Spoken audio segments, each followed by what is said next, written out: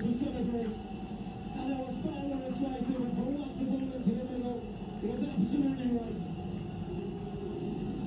And to his delight, Aguibou Camara has got his first goal at a Cup of Nations.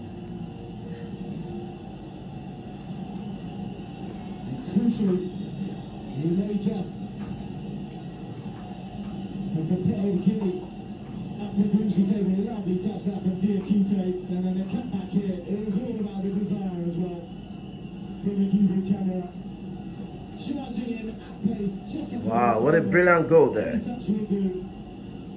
Yeah, it's indeed a brilliant goal. Gomez has. Getting caught out. He felt his defender should have had it. But credit. Camara flew at it. Poker almost with the